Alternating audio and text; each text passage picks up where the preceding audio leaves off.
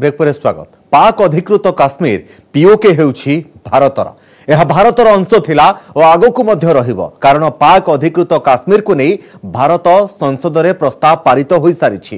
ଜମ୍ମୁରେ ଏହା କହିଛନ୍ତି ପ୍ରତିରକ୍ଷା ମନ୍ତ୍ରୀ ରାଜନାଥ ସିଂ। କାର୍ଗିଲ ବିଜୟ ଦିବସ ଉପଲକ୍ଷେ ଜାମ୍ମୁ କାଶ୍ମୀରରେ ଆୟୋଜିତ ହେଉଛି ବିଭିନ୍ନ କାର୍ଯ୍ୟକ୍ରମ।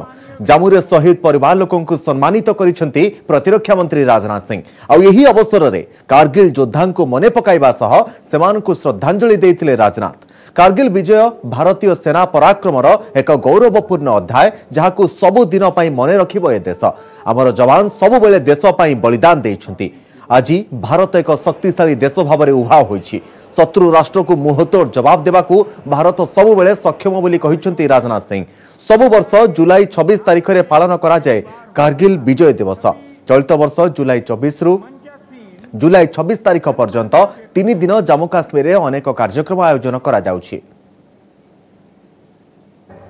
का सवाल करते हैं लोग पाक अधिकृत कश्मीर के बारे में पाक अधिकृत कश्मीर के बारे में आपको याद है, भारत की संसद ने प्रस्ताव पारित किया था, किया हुआ, किया था।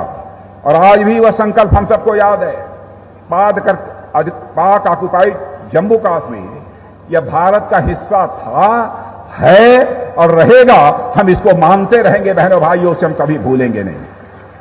कभी हम उसे भूलेंगे नहीं। ये कैसे हो सकता है? शिव स्वरूप, बाबा अमरनाथ हमारे यहाँ हों और माँ शारदा शक्ति स्वरूपा एलओसी के पार हों। बहनों, भाइयों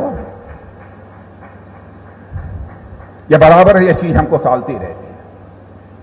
लेकिन मैं कहता हूँ कि पाकिस्तान को ऊपर वाला सदबुद्धि दे।